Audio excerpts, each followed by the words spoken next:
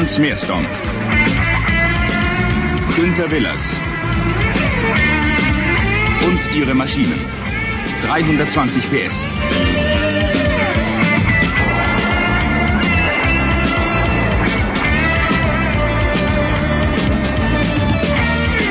Sie fahren Terminfracht in aller Herren Länder.